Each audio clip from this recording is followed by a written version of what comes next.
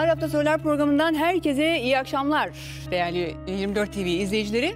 E, duyurduk, çok da sevindik. Kim var programımızda? Sanatçı, müzisyen Yusuf Güney. Hiçbir şey söylemeden hemen fix menü açıyorum ve soruyorum. Diyorum ki Yusuf Güney Ağır Hafta mı? Efendim e, öncelikle hayırlı olsun programımız. Bayağı uzun zamandır da devam ediyor ama e, normalde tabii Yok ben bu- burada burada hayırlı olsunluğu bur- var. Evet. burada hayırlı olsunluğu var. Evet. E, Yusuf Güney Araf'ta mı? Şimdi neye göre Araf'ta mı? Allah kimseyi tabii başta Araf'ta bırakmasın. Araf'ta olmak iyi bir şey değildir. böyle Öyle mi? Tabii ki de Araf'ta kalmak bir şey- doğru bir şey değildir. Çünkü en azından bir şeyleri doğru ya, doğru ya da yanlışı vardır. Hı hı. E, Gerçekleri de yalanı vardır. Ya da iyi ya da kötüdür. Hı. Arada kalmak hiçbir şey bilmemektir. İşte hiçbir şey bilmediğiniz zaman da o zaman hata yapmaya daha çok müsait oluyorsunuz. Hı hı. Haliyle e, bir şeylere en azından fikir sahibi olmak e, Araf'ta olmaktan daha iyidir diye düşünüyorum. Süper. Şöyle söyleyeyim, biraz da açayım. Diyeyim ki e, sanat yolculuğunuzda, e, yola çıkışınızda kendinizle böyle Ses yapmasın şunlar boncuklar. Yok yapmıyor gayet iyiler. Ee, kendi yolculuğunuzda hiç böyle kendinizle sanatınız arasında bir araf durumu oldu mu? Ya açıkçası yaptığım meslekle... Keşke şunu yapmasaydım da arafta mısın sorularına dahil olabilir. Aslında yaptığım meslekle alakalı gurur duymuşumdur her zaman. Bu bir lütuftur bu aslında. Ee, işte kimileri yüz binlerce sevenim var der. Kimileri milyonlarca der. Bu tabii göreceli de bunu bilemeyiz zaten. Hani kimi sevip kimi sevmediğini 80 milyonun içerisinde artı bir de yurt dışından sevenlerimiz var. Ben yine mütevazi da- davranım. Hani binlerce, yüz binlerce sevenimizin olan bir işi yapması, yapmak çok güzel bir şey. Bu lütuftur o. Yani Allah katında gayet de e, bir hani o yürü ya kulum deme olayı vardır ya hani onu ki başında ben de bu, bu tarz işlerle hiç meşgul olmayan bir adamdım.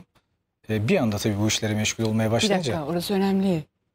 Bu tarz işler derken yani müzik, müzikten önce, sanat, müzikten önce, sanattan önce. şef, aşçı, Orada İtalyan biraz şef, duralım. Tam, mutfak. tam doğru yerdeyiz. Şimdi hikaye Daha var. çünkü. de çok daha fazla meş, e, meşguliyetlerim oldu, e, işlerim oldu, mesleklerim oldu ama tabii en son bıraktım ben aşçıyım. O, o geçiş nasıl oldu ya? Geçiş. Ya geçiş benim hayatım zaten bir hikaye, gerçekten Açık bir film. film film hikayesi gibi. Ee, bir fil- film güzel. filmi şekilleri aslında. Başlangıçtan başlayıp hele de çocukluktan başlayıp benim çocukluğum işte ilk Trabzon'da doğmam.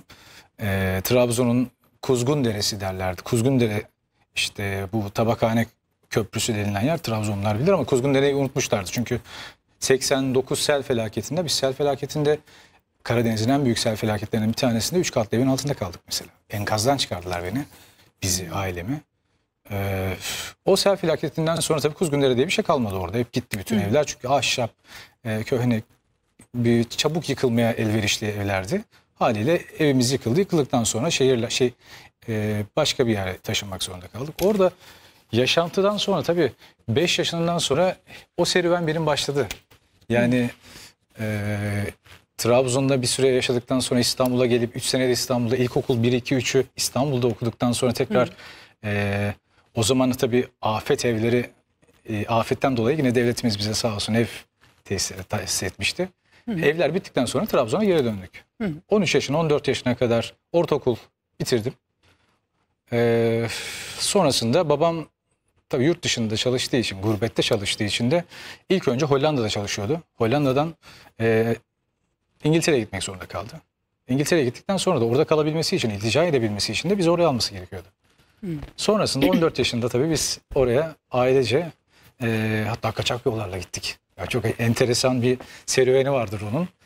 Bayağı bildiğiniz tırın dorselerinde böyle hani ben mesela Suriyeli olsun ya da kaçak göçmenleri çok iyi anlarım. Ne çektiklerini çok iyi anlarım. O yollarda neler çektiklerini çok iyi anlarım. Üç gün parkta yattım ben mesela. Ailemle beraber. Aç susuz. Hiçbir şey yemeden. Çünkü yakalandık ilk geçişte. Fransa'da gemide yakaladılar bizi.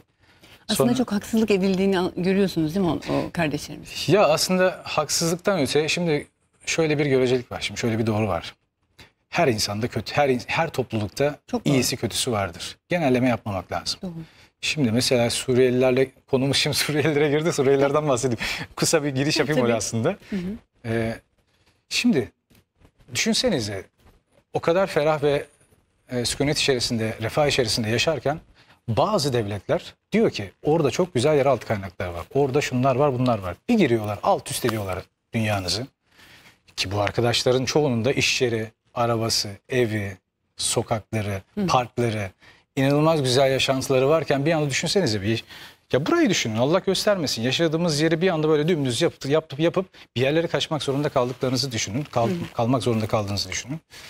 E tabii şimdi hala hali hazırda insanlarımız şunu söylüyor. Neden savaş bitti, neden geri dönmüyorlar? Şimdi e, şöyle düşünmek lazım. Empati yapmak lazım tabii. Nereye dönecek abi? Hiçbir şey yok ki. Hiçbir şey kalmamış orada. Bitmiş, bitirmişler. Şimdi oranın bir yapılanması lazım. Yapılanma da şu anda hala e, kavga sürüyor. İşte orasını ben alacağım, burasını sen alacaksın. Büyük devletler birbirine girmiş durumda. Olan hani filler tepişir altında çim, Çimenler ezilir. çimenler ezilir ya. Aynı gerçekten de öyle. Gerçi Ha, bunun yanı sıra doğru. var mı sıkıntılı arkadaşlar? Kesinlikle var. Yani şımaran arkadaşlar çok var özellikle bu işte Suriyeliler dediğimizde az önce söylediğim gibi hani iyisi ve kötüsü. Yani bu devletimizin e, göstermiş olduğu tevazuyu yanlış anlayan arkadaşlardan bahsedeyim mesela. Bu yani sizler burada göçmensiniz. E, sizler Türk değilsiniz. Sizler başımızın üstünde yeriniz var ama bu tamamen aynı dini taşıyoruz diye bu bizim gönlümüzden çıkan bir durum. Yani bizim hani size bir mecburiyetimiz yok. Ama biz ne yapıyoruz Türkiye Cumhuriyeti olaraktan diyoruz ki size kapımızı açacağız. Ama siz de buranın kurallarına, e, hukukuna, anayasal hukuk e, maddelerine uyun. Güzel insan olun. Başımızın gözümüzün üstüne verin. Ne yapıyor? Bazıları tabii bunu yanlış anlamış. Külhan Bey gibi geziyor ortalıklarda. İşte e, işin üçkağıtçılıklarını öneriyorlar. Ya bu bizim insanımızda da var yok mu? Ses bunu sınıf, sınıflandırmak suç oranı lazım. yüzde iki söyleyeyim. Çünkü bakarsanız biz Evet. ben mesela İngiltere'de yaşayan bir adamım. Ben yani bizim buradan şimdi yani yanla- yalanlayamaz da kimse çünkü hepsi de hemen hemen yüzde seksen de yapıyor İngiltere'de. Ya İngiltere, Almanya, Avrupa'da şimdi Avrupa mesela bir e, bir ödenek çıkartır sana. Hani sığınmacıysan bir ödenek çıkartır. Hani bizim şu an Suriyelilere yaptığımız gibi. Bizim şu an Suriye şundan emin olsunlar. Suriyelilere verdiğimiz parayı paranın 10 katını alıyorduk biz İngiltere'de. 10 katını. Hı hı. Çocuk parası, geç, mutfak parası, ev kirası, sağlıkta bedava. Bakın hepsi İngil- ve yıllardır. Bizimkiler, bizim Türkler ne yapıyordu biliyor musunuz? Evde mesela 5-6 kişi var. Hı. Abi 6'sı da çalışıyor. Kaçak yollarla çalışıyor. 6 kişi zaten para kazanıyor. Altısı çalışmıyor mu diye para topluyorlar, para alıyorlar devletten. Artı kimse çalışmıyor diye de ev kiraları ödeniyordu. Yani baktığınızda bizim insanlarımızın çoğunda da orada işgalcilik yapılıyor. Yani bu aslında hani gavurun para hani derler ya gavur onlar. O gavurun parası helaldir. Öyle bir dünya yok abi. Ne gavuru ya? Ya adam sana kapısını açmış. Sen çalışman için, yuva e, geçimini sağlaman için, daha iyi şartlarda sürdürebilmen için sana kapısını açıyor. Bu gavurdur diye bunlara bu bu şekilde yapmak doğru değil bence bana göre. Evet bu, burada aslında yine temel olan vicdan. Evet. Vicdan tabii ki de Vicdan. hani Ortak e, noktamız vicdan. Şimdi bu parantezi kapattıktan sonra şeyi atlamak istemiyorum. Çünkü sizin hikayeniz. Geçelim Yolculuk. benim hikayeme. Fransa'da ilk geçişimizde yakalandık. Bizi yakaladı köpekler. Kokumuzu aldı tırın dorsesinde. Sonra polisler aldı. Ee, tek sordukları belki böyle sıfır İngilizce. Tek sordukları işte where are you from? Turkish dedik. O Turkish. Yani anladık tamam. O zamanlar da acayip bir gidiliyordu Avrupa'ya Türkiye'den. Ee, sene şey 98'den bahsediyorum. 98 oluyor olay. Sonra aldılar bizi arabaya bindirdiler. Fransa'nın bir parkında Kale diye bir şey, şehir var. Kalenin içerisinde bir tane parkta kapıyı açtılar. Go gidin. Ne yapıyorsanız yapın. Fransa'da sokakta kaldık bir anda böyle. Yakalanmışız. Bizi götüren iltica e, şeydi. Şebekeci derler onlara. İnsan tacirleri ne diyorlar? Te, insan tacirleri mi diyorlar işte. Umut tacirleri derler. Tacir. Tacir mi denir? Ee, yakalandık. Cebimizde bir kuruş yok. Hiçbir şey yok. Üç Hayat. gün, üç gün boyunca başlıyor. parkta e, hippilerin, daz, hippi demeyeyim de dazlaklar da vardır orada. Böyle aşırı holigan tayfalar mesela. Fransa'nınki de 22 sene önce hani şu an daha rahattır orası. Kimse ki şu an daha oturmuştur hani yabancılara karşı bakış açıları biraz daha yumuşamıştır. 22 sene önce Fransa bir de kale denen şehir meğersem tam şey, şey yeriymiş böyle hani tam anti yerler böyle karşıt görüşlü olan yermiş. Sert bir yermiş. Orada biz parkta 3 gün boyunca aç susuz yaşadık. Sonrasında tesadüfen bir şebekeci denk geldik. Sonra aldı bizi İngiltere'ye götürdüler ve iltica ettik. Babamın üzerine iltica ettik ve bir süre orada yaşadık. Ben okula gittim 3 ay sonra okuyamadım. Baktım yapacak yapamıyorum. Çünkü gurbettesiniz. Bir de çok kötü bir yaşta gittim. Yani az heh bak Araf'taydım o zaman işte. Süper işte. Bunu Şimdi. Araf'a geldik. Abi demek kurcalasak çıkıyormuş. Çıkıyor var aslında. Çünkü düşünsenize e, ne ortaokula başlayabiliyorum ne liseye başlayabiliyorum. Tam araftayım. İkisine de almıyorlar beni. Ne yapacağım dedim. Ki zaten okumada da çok gönlüm yoktu benim. Hı. Ben gideceğim çalışacağım Londra dışında. Amcamın kebapçısı vardı. 14 yaşındayım ve başladım çalışmaya. Ve o günden bugüne kadar çalışıyorum. 8 tane meslek edindim. Bunun içerisinde baklava ustalığından tutun, vinç operatörlüğünden tutun, tır şoförlüğünden tutun, işte İtalyan şefliğinden tutun, kebapçılar, döner ustası, döner fabrikasında döner takmalar, işte e, limanda vinç kullanmalar falan neler neler var. E, hayatı ben zor yönden öğrendim. Çok zor yönden öğrendim. Mütesir miyim değilim. Bence çok şanslıydım. İyi ki babam çok zengin değilmiş. İyi ki hep tırnaklarıyla böyle kazıyaraktan sadece bizi geçindirebilmiş. Ne güzel. İyi ki bana bir şeyler vermemiş. Maddiyat olaraktan. Ha Allah'a çok şükür. Bu zamana kadar hep baktı bize. Ayağımızdaki çoraba kadar. Allah esirgemesin. e, yokluğunu göstermesin Allah bizlere. Cümlemizinkini. Ama e, zor şartlarda, zor şekilde bir de gurbette bir de İngiltere'desiniz. Düşünün bir de çocuksunuz. Çok zordu. Her şey çok zordu. Dili ben çalışarak öğrendim. Yani sokakta öğrendim. Hiç okula gitmeden İngilizce öğrendim. Ama e, mesela kuzenlerim vardı orada. Bir de insanlara mah- mahkum olmak kadar kötü bir şey yoktur biliyor musunuz dünyada? Birine muhtaç olmak, mahkum olmak inanılmaz kötü bir şeydir. Şimdi hiç dil yok, İngilizce yok, bir şey yok. Gidiyorduk. Tabii devlet dairesinde randevu veriyorlar. O saçma sapan prosedürler, dünyalı. Orada zaten her şey kağıt, mektuplar, randevular, gideceksin oradan çık oraya git oradan. Ömrümüz onlarla geçti zaten orada. Prosedürlerle geçti. Şimdi İngilizce bilmiyoruz. E, kuzenleriniz ya da arkadaşlarınız onlar da haklı olaraktan tabii bir ke bir geldiler, iki geldiler. Dördüncüde baktım artık kimse gelmek istemiyor. Dedim ben bu ilk önce bunlardan önce ben İngilizce öğrenmem lazım. Bir de zaten e, bir ülkeye gittiğiniz zaman ben mesela Suriye, Suriyelilerde bir şey kızıyorum. Kızdığım şeylerde bir şey. Abi Türkçe öğrensenize. Artık burada yaşıyorsunuz bir şekilde Öğrenmeye çalışıyorlar. Bayağı da öğrenen var. Çok Öğrenen var ama var. genelinden bahsediyorum ben. Genelleme yapıyorum. Çünkü çoğunluğu öğrenmedi. Ya şimdi Türk bir, mesela İngiltere'ye gitmişiz biz. Ben bütün her annemle babamla bile kavga ederdim bu konu hakkında. Ya anne ya baba bak artık bu ülkede yaşıyorsunuz. Öğrenin bu adamların dillerini. Öğrenin. De, derdini nasıl anlatacaksın? Ben yokum. Ablam yok. Nasıl anlatacaksınız? Bir de saygılı saygıdan dolayı ya bir insan saygılı olmak zorunda. Ekmeğini yediğin ülkeye neresi olursa olsun, hangi dinin mensubu olursa olsun saygılı ve o oranın kurallarına uymak zorundasınız. Bu bizim ülkemiz için de geçerli. Ha bizim insanımız zaten doğru düzgün e, kurallara uymazken genelleme yapmıyorum tabii çoğunluk da demiyorum ama yine öyle bir kesim var. Hani her şeye karşıt olan arkadaşlar. E Şimdi yabancılardan tabii bekleyemiyorsun bunu. Ya bizim insanımız yapmazken yabancınız neden yapsın bunu? Çünkü görüyor o yanlışı. Hı hı. Yani anlatacağım şu. Orada zor bir yaşam süreci geçtikten sonra benim ilk müziğe at- e, başla- başlama serüvenim tabii şöyle geliyor. E, Rafet abiyle, Rafet Erroman'la benim tanışmam 2005'te bir konserinde oluyor. 15 sene önce. 2005'te ilk tanışıyoruz ve ben o zamana kadar hiçbir şekilde e, müzikten sağından solundan alakam yok. Sadece hobi olaraktan bir e, espri olsun diye bir tane e, müzik yarışması yapılmıştı. Avrupalar arası ses yarışması. E, Avrupa Yıldızını arıyor diye. Oraya katılmışım. Orada arkadaşlar yazmış beni. Ben katılmadım. Hmm. Ben arkadaşım için gittim oraya. Bir baktım benim ismimi de okudular. E dedim gırgır olur, şamata olur. Biz de çıkalım işte şarkı söyledik deriz, katıldık deriz. Seç, seçmediler zaten beni. İlk başta seçilemedim. Almadılar beni. Sonra yedeklere yazmışlar. Sonra benim e, bir, bir kişi gelemedi. Bir, e, bir kardeşimizin ailesi izin vermedi. Haliyle e, yedeklerden beni alıp yarışmaya koydular. Öyle işte yarıştık bir şekilde. Sonra tabii dolandırıcı çıktılar. Dolandırdılar kaçtılar gittiler Avrupa'ya. Bütün başvuru paralarını alıp gittiler hepsi. Ama Ya, en azından bir şey oldu. Orada bir minik bir sahne de aldım böyle. Onun bir şeyi de oldu.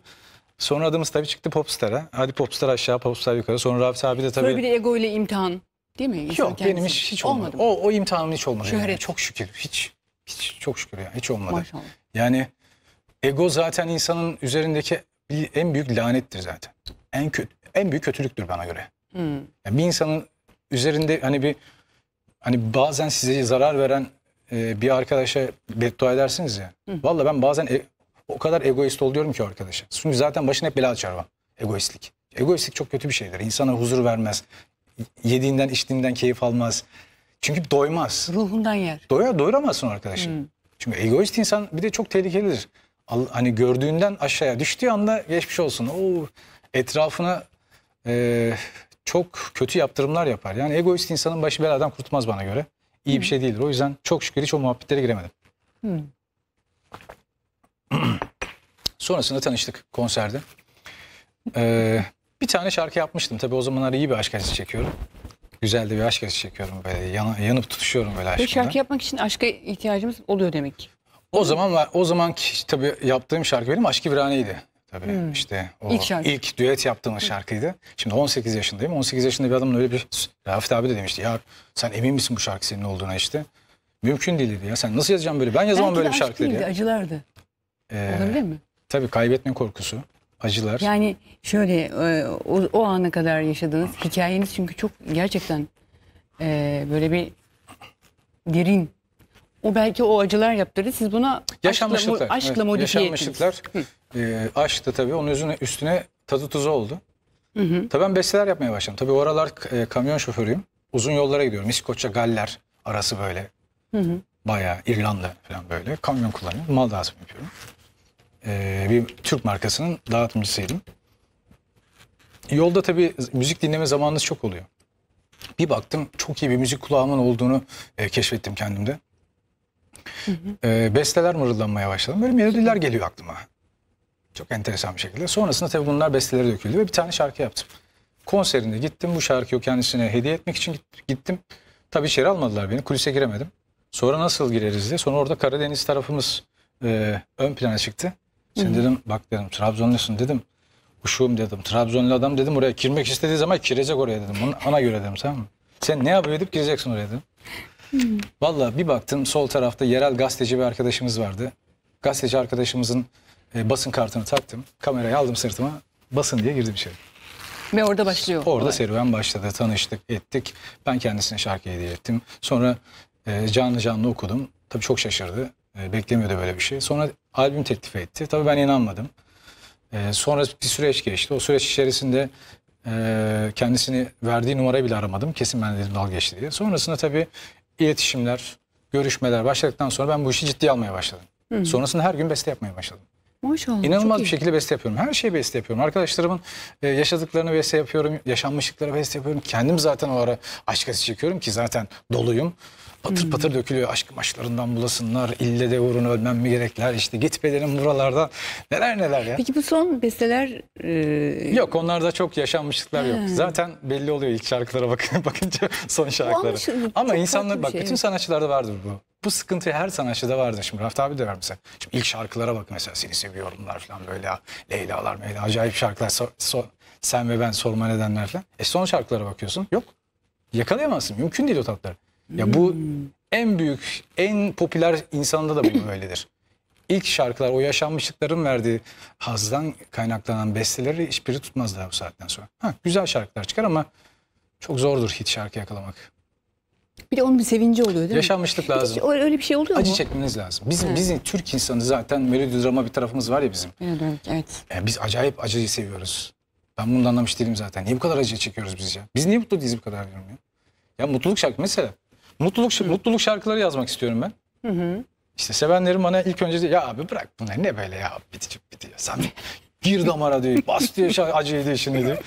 Kalbimiz yanıyor aşığız biz abi diyor bırak bunları diye. ya bırakın diyorum arkadaşlar bu kadar bunalım bu kadar arabesk olmaz. Tamam arabeski ben de seviyorum ama ya bu kadar da değil yani. Biraz mutluluğa ihtiyacımız var. Zaten kafamız o kadar dolu ki. yani Bu arada şey e, bayağı gençler seviyor sizi. Enteresan. sağ olsunlar Allah Bir de yokluklarını böyle- göstermesinler. Eksikliklerini göstermesinler. Benim en korktuğum şeydir. Yani Peki hikaye mutlu sonunda bitti mi? Tabii ki. Sonrasında tabii Mutlu sabrettik, mutlu sonda mıyız şu anda? Sonra 22 yaşında ben ilk albüm, ilk şarkımızı yaptık, düetimizi yaptık. Maşallah çok 12 güzel. sene olmuş. 8 tane albüm çıkarmışım. 70-80 şarkı çıkarmışım. Çok fazla. Sağ olsunlar. Çok, o kadar çok ödül aldım. Maşallah. Yüzlerce konser yaptım. Ama oldum mu? Kesinlikle olmadım. Daha yolun çok başındayım. Yani bana göre bir sanatçı, ya sanatçılık ke- kavram kelimesi bana göre çok özeldir. Hani derler ya ilk bir tane şarkı yapan arkadaş hemen işte sanatçı. Ya, popüler. Dostluklar? Popüler diyelim. Dostluklar vardı ya eskiden çok güzel dostluklarım vardı. Seçimden sonra hiçbiri kalmadı. Seçimlerden sonra. Hmm, şimdi geldik miladik noktaya. Gelelim mi? Şimdi bunlar ısınma soruları. Yani bizim zamanımız zanned- zannedersem çok fazla zamanımız var. Var. Hepsine girelim çünkü Şimdi bilhassa o soru başlıklarını istiyorum sizden. Benim hazırladım. hmm, öyle mi? Tamam. Hepsi hakkında fikirlerimi sadece beyan edeceğim. Son e, olaylarla ilgili diyoruz değil mi? Son. Şimdi şöyle söyleyeyim. Ee, sizin bir tane videonuzu izledim ben. Oradan giriyorum. Hangi video? Güzergah. Şimdi bir sanatçı Türkiye'de vatansever olduğunu söyleyen bir sanatçı ne sıklıkta linç yer ve siz de aslında muhteşem bir aşçıymışsınız. Evet. Ee, bu li- linç ruha mı yarar, bedene mi yarar? Belki e, onu konuşacağız. Ama e, vatan Türkiye'de vatansever sanatçı olmanın bedeli nedir? Diye ben soruyu paket halinde size Ya şimdi vatanını, herkes vatanını seviyordur. Kimse ülkesine düşman olduğunu düşünmüyorum zaten de. Ama bunu kavramını bazı arkadaşlar yanlış algılıyorlar şimdi. Ee, ne yazık ki vatanseverlikle e, parti sempatizanlığını, e, yandaşlığı çok farklı, çok birbirine karıştırıyorlar. Yandaş mısınız? Ben devletimin yandaşıyım. Bakın, ne hükümetin ne de bir siyasi partinin yandaşlığı değilim ben. Ben devletin yandaşıyım. Devletin yalakaysam devletin yalakasıyım. Devletin kurumlarına saygım sonsuzdur, devletime saygım sonsuzdur. Kişiler benim benim tamamen özgür, hür irademe bağlıdır. Severim, sevmem. Ben kişilerini severim, desteklerim. Ama bu şu değildir ki. Açık konuşayım. Ben Sayın Cumhurbaşkanımızı çok seviyorum. Yanlışıyla, doğrusuyla. Ki her insanın yanlışı vardır, doğrusu vardır. Çünkü zaten yanlışınız yoksa haşa peygambersiniz zaten. Öyle bir şey yok. Haksız mıyım? Yani. O yüzden ve yanlışlar olduğu zaman da hani nacizane fikrimi de beyan ederim. Söylerim. Ya bu olmamış derim. Yanlış ol. Keşke bunu yapmasaydı. Ya da böyle olsaydı. Ama ben seviyorum diye bakın sadece bu ülkenin bir cumhurbaşkanı bu adam ya. Düşünsenize liderini seviyorum diye ne AK Parti'ye yanlakalığım kaldı ne yandaşlığım kaldı ne saray soytarılığım kaldı ne işte pis AKP'ci şuzu bucu neler dediler bana ne hakaretler. Ben de diyorum ki arkadaşlar bakın sempatizanlık ve yandaşlığa geldiği zaman sizler zaten önünü çekiyorsunuz bu işin. Benim girin sosyal medyama bakın. Bir tane parti sloganını paylaşmış mıyım? Bir partinin sloganını paylaşmış mıyım? Yok. Ama siz akşama kadar e, özellikle seçim, seçim sürecinde bütün o arkadaşlarımız hani popüler camiadaki arkadaşlarımız e, siz bir partinin siyasi sloganını paylaşaraktan asıl en büyük yalaka ve yandaşlığı siz yapıyorsunuz. Çünkü bu, bu ayrıştırmadır. Bu bölmektir. Çünkü sizleri milyonlarca insanlar seviyorlar, takip ediyorlar. Siz tanımadığınız bir insanın, siyasi bir insanı destekleyerekten, bunu da dile getirerekten milyonlarca insanın vebaline giriyorsunuz. Düşünsenize. Çünkü bilmiyorsunuz iyi, iyi biri mi kötü biri mi. Bilmiyoruz. Hiçbirimiz bilmiyoruz. Yaşayıp göreceğiz. Bize yaşamadan zaten göremeyiz. Ama demiyor ki ya işte sırf karşı, karşısındaki insanı sevmediği için yani o kim olursa olsun arkadan kim geliyorsa ona karşıt kim geliyorsa gelsin onu destekliyor. Bilinçsiz ve şuursuzca. Konforlu muhalefet yani bu. Ya bir araştır. De bak, bak bakayım o vasıflar var mı o insanda? Yani senin o yüce diyeyim, yüce demeyeyim de hani o çok büyük e, popülerizminin verdiği sana o yaptırımın, kitlelere hitap etme gücün, o gücün diyeyim. O gücün bu kadar basit olmamalı senin ya. Yani tanımadığın bir insanı destekle, desteklerken bu kadar insanın vebaline girmemen lazım. Ha destekle. Ben, insanlar özgürdür bu ülkede zaten. Ya ben seviyorum dediğim zaman bana küfür etme abi. Çünkü ben çıkıp da Peki çok özür dilerim. Tam tersi olsaydı. o halk karamanıydı ben şu anda. Yani siz eee, bir muhalefet Heykelimi lideri- dikerlerdi. Çünkü biz- niye heykelimi dikerlerdi biliyor musunuz? Allah şükür hiçbir şey yanlışım olmadı bu ülkede. 12 yıllık müzik kariyerimde hiç yüzümü karartacak bir şeyim olmadı. Önüme bakacak bir şeyim olmadı. Hiçbir şeyim olmadı ya. Çok şükür. Yani sokakta bazen görüyorum teyze teyzenin bir tanesi başıma gelen bir olay yalnız bize. Tam o süreçlerde böyle. Teyze böyle güzel yüzlü bir teyzemiz. Belli böyle cumhuriyet kadını böyle. Acayip de duruşu da böyle çok havalı bir teyzemiz. Duruyorum sokağın orada. Çengelköy'deyim. Yoldan geçerken gördü beni. Böyle bak. Ama nasıl bakıyor bana böyle. Ben seni çok seviyorum diye. Artık sevmiyorum. Hayda.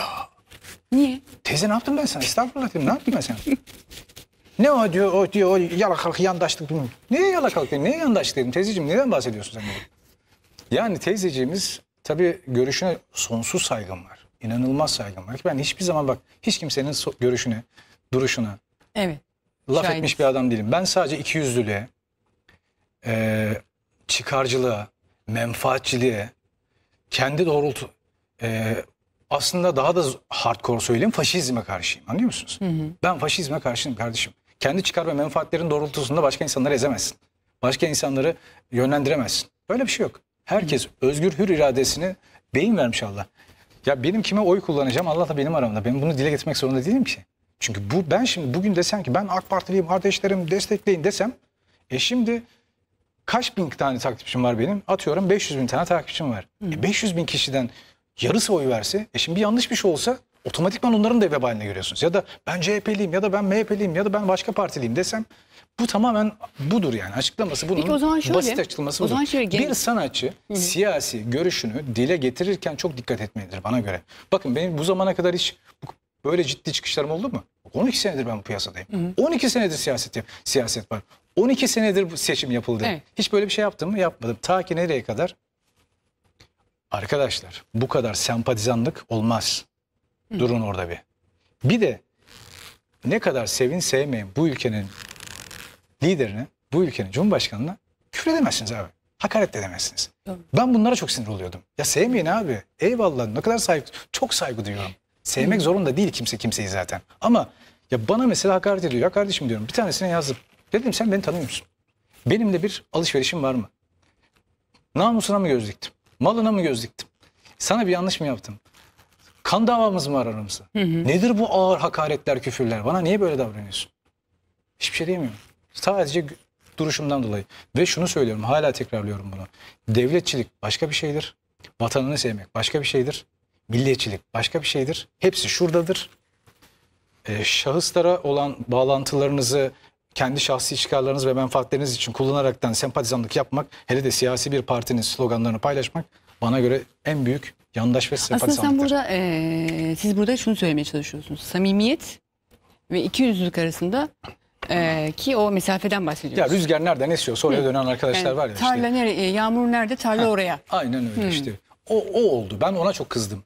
Ve ben dedim ki tamam konuşma zamanın geldi senin. Konuşacaksan da e, doğrusuyla yanlışıyla dile getirerekten bunu sevdiğin ve inandığın kişiyi destekleyerekten bunu yapacaksın. Ama partisini desteklemeyeceksin. Çünkü, çünkü parti desteklemek bu siyasi ve ben siyasetçi değilim ki. Bizlerin hiçbirimiz siyasetçi değiliz. Biz parti tutar şey e, takım tutar gibi siyaset zaman yap- şurada ters parti bir, tutuyoruz ters zaten. bir olay yok mu? Mesela bu ülkenin menfaatlerine, bu ülkenin devrimlerine karşı görüş bildiren bütün sanatçılar yalak olmakla suçlanıyorsa o zaman burada şöyle bir şey çıkıyor. Onların mantığına göre sanatçı muhalif olur kardeşim gibi bir e, Şimdi şöyle ön bir- yargı da çıkıyor. Bunu da Şimdi bence başlarda tabii bunlara Evet. çok kızıyordum böyle. Çok stres yaptım. Bak ben saçlarımı ektirdim açık açık söyleyeyim. Ben saç, saçlarım şu an ekilidir. 5 ay oldu ektireli. Kafam benim Hayırlı o kadar olsun. büyük saçlarım, o kadar gür saçlarım vardı ki hepsi gitti. O kadar O kadar sıkıntı, o üzüldünüz. kadar stres yaptım. Üzüntüm neydi biliyor musunuz? Ya ben bu insanlara niye anlatamıyorum? Ya arkadaşım ben şahısları bırakın ya. Ya siyasetçileri de bırakın. Şahısları bırakın. Hiçbir şeye takılmayın. Bir tane ülkemiz var. Bir tane bayrağımız var. Değil mi? Çok doğru. Ya saygılı olun ya Allah rızası için. Demokratik bir ülkede yaşıyoruz. Eğer ki bu ülkeyi yöneten kişiyi sevmiyorsan git oyunu, oyunu kullan. Seçilmesin bir daha başkası gelsin yerine değil mi? Bak ne kadar basit bir şey bu. Ama böyle bir şey yok. Algı, algı, algı, algı. Her şeye karşıtlık, her şeye sert tepkiler. Ya oturup biriyle tartışamıyorsunuz artık. Mesela bir yakın dostlarımla bile tartışamıyorum. Diyorum ki ya kardeşim gelin hadi siz de siyaset konuşalım. Ki en nefret ettiğim şeydir ama konuşmak istiyorlar. Konuşuyoruz tepeden indiriyorlar hemen. Baryoz gibi vuruyorlar. Ya bir sakin ol. Niye biz sizle sakince konuşamıyoruz? Hemen hakaret, hemen kızıyor, hemen sinir. Öyle yaptılar, böyle yaptılar. E istemiyorsan git oyunu kullan o zaman. Seçilmesin bir daha. Niye küfür ediyorsun? Neden hakaret ediyorsun o insana? O insanın ailesine niye küfür ediyorsun? Niye o insana hakaret ediyorsun değil mi? Ne kadar ayıp bir şey. Burada iki soru çıkıyor. Mesela insanlar Türkiye'de şu anda e, onu soracağım. Düşünce özgürlüğünün olmadığını söylüyorlar ama aslında istedikleri şey sizce hakaret etme özgürlüğü mü? Düşünce özgürlüğü şöyle bir şey. Şimdi neye göre düşünce özgürlüğü? Şimdi neye göre ve kime göre nasıl? Şimdi sen bir insanın çok özür dilerim sülalesinden başlayıp ailesinden çıkıp bütün değerlerine, inancına, fikirlerine küfür edersen bu düşünce özgürlüğüne girmez ki. Bu bu, bu düpedüz hakaret ve kinini kusmaktır bir insanın. Ama sen şunu söylesen keşke şunu söyleseler. Deseler ki ya kardeşim atıyorum ben asgari ücretten memnun değilim. Bu ülkedeki atıyorum hep konuşulan vardı ya milletvekilleri 20 bin lira 30 bin lira alırken ya bir adam o kadar emek harcayan bir adam 2500 lira para mı alır? Bu nasıl geçinecek? Bir de çıkıyorlar ha- haklılar bu bazı taraflarında. Niye haklılar? Birkaç tane milletvekili çıktı hani demişti asgari ücreti konuşurken işte efendim işte her gün 3 tane simit yese aslında gayet de güzel para diye bir saçma sapan bir açıklamada bulunan bir milletvekili olmuştu mesela. Burada artık bunlarla konuştukları için de bunları da alıp bu arkadaşların önüne koydukları için de bu arkadaşlar da kendilerini haklı olaraktan direkt tepeden balyoz, balyozla vurmaya çalışıyorlar. Bu böyle bir şey değil. Şimdi konuşan bazı ben bir de şunu da söyleyeyim size çok enteresandır. Konuşan çoğu arkadaş da mesela hani e, asgari ücret bu ülkenin gidişatı böyle lanet olsun gidişatına asgari ücretler böyle de- derken de bunlar da söylüyor bazıları biliyor musunuz? 15 milyon 20 milyonluk mega yatlarında e, 15 milyonluk villalarında 4 tane buzdolabı var. İşte içinde havuzu jacuzzi'si var ve bu adam asgari ücretlinin derdini paylaşıyor. Ya mübarek sen konuşma ya. Sen zaten İşte pastanın sen şey, ortadaki pastanın zaten büyük tarafını almışsın koymuşsun cebine. Biraz samimiyet olsun. Yani bunu konuşurken ben utanırım mesela konuşamam bu. Hani asgari ücretlinin hakkını savunamam ben mesela. Evim koca 10 milyonluk 15 milyonluk evde oturuyorsam ya da 20 milyonluk mega yatım varsa altında. işte Bodrum'da ayaklarımı uzatmışım elimde kokteylim. Instagram'dan Twitter'dan yar diyorum. Lanet olsun bu ülkeye. Lanet olsun böyle bir şey. Ya yapma ya sen yapma bunu gözünü seveyim. Değil mi? Haksız mıyım? Çok haklısın. Çok İşte haklısın. durum Bu arada şöyle bir şey Ama var. ne yani- yazık ki toparlıyorum. Ne yazık ki bütün siyasetçilerin en büyük hatalarından bir tanesi budur. Çok fazla işin içerisine insanları si- siyasete girmelerine e, yer edinecek açıklamalarda bulunuyorlar ve insan bizim insanımız da zaten biliyorsunuz e, her şeyi bilir. Yani fikrim var diyemez. Ya efendim fikir sahibi şu konu hakkında fikir bilmiyorum ama fikir sahibiyim. Değildir. Her şeyi bilirler. O yüzden bu kadar sert olmaması lazım. Önce onların böyle mesela görüyoruz millet mec- meclislerinde ya kavga, gürültü, birbirlerine saldırmalar. Yapmayın abi ya. Milletvekili kaç tane milletvekilimiz var? 584 mü? 584 tane milletvekilimizin olduğu millet meclisinde adı üstüne bak milletin meclisi. Yani millet var orada. Yani aslında sen milletin milletin vekilisin. Dediğimiz yerde siz kavga ederseniz, birbirinize yumruk yumruğa girerseniz e şimdi ne yapsın bu adamlar? Bu vatandaş? En ufak bir görüş ayrış, ayrış, ayrış, ayrışmasında birbirine saldıracak. Ama şöyle bir şey de var. Çok e, doğru.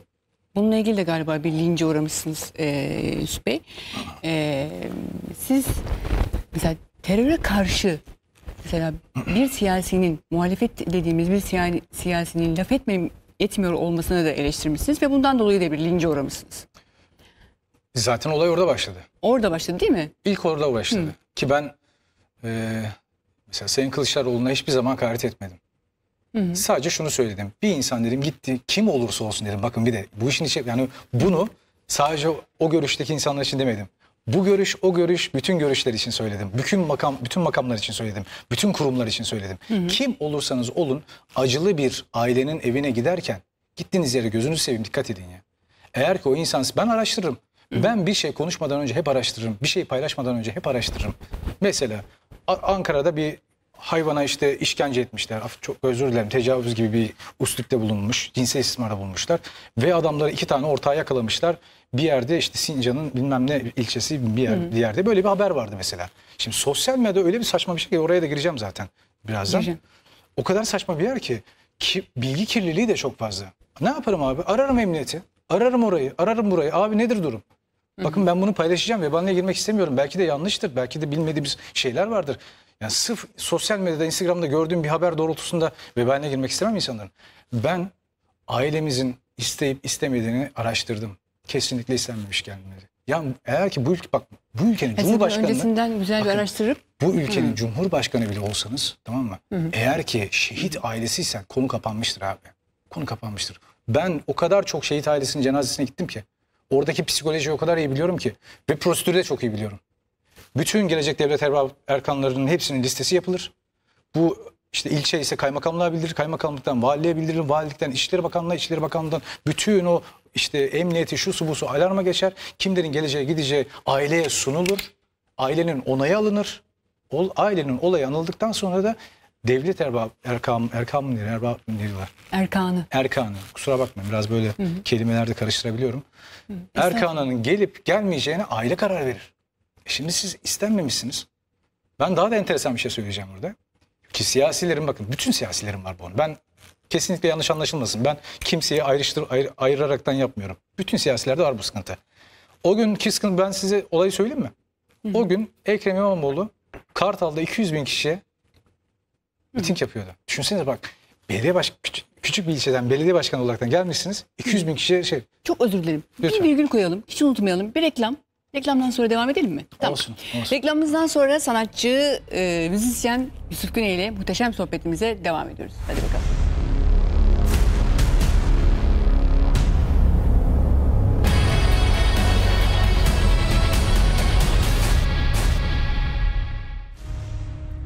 Arap'ta Sorular programımız devam ediyor. Sanatçı Yusuf Güney ile gayet harar, harar, hararetli Hararet. konuşuyorum. Hararetli. kusura bakmayın bu arada başladım. ceketimi çıkardım ama. Estağfurullah. Nasıl rahat edersiniz öyle olsun. Hemen olayı toparlayayım. En son Hemen kaldığımız olay? Virgül cenazemizle ilgili. Ben oradaki tek rahatsız olduğum nokta şuydu. Acılı bir ailenin yanına kim olursanız olun. Gitmeden önce bir ailemizin bir gönlü olsun, gönlü var mı yok mu diye bir sormak lazım ya. Kim ol? Ben ben dahi yani bu ülkenin lideri dahi herkes için söylüyorum bunu.